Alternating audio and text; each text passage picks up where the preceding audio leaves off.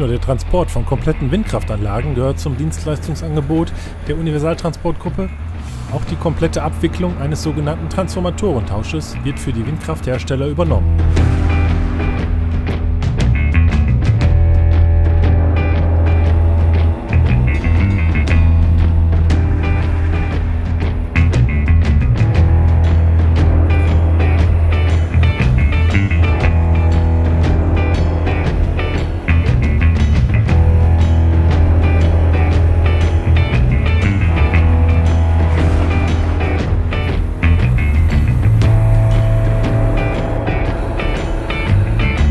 Nach der Vorbereitung des Standplatzes und Ausrichtung des Ladekranes wird sofort mit dem Ausheben des Transformators begonnen.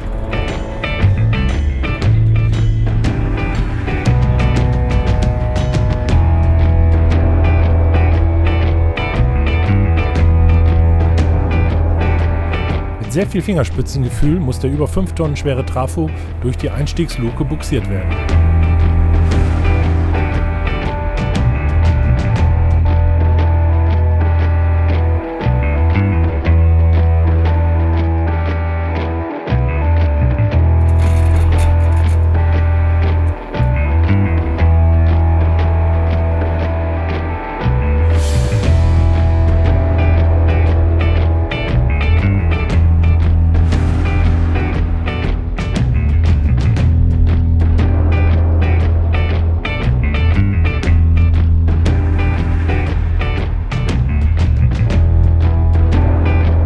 Gleichen Weg wird dann der neue Transformator an seinen neuen Arbeitsplatz gebracht, sodass nach drei Stunden die Servicetechniker das neue Gerät anschließen konnten.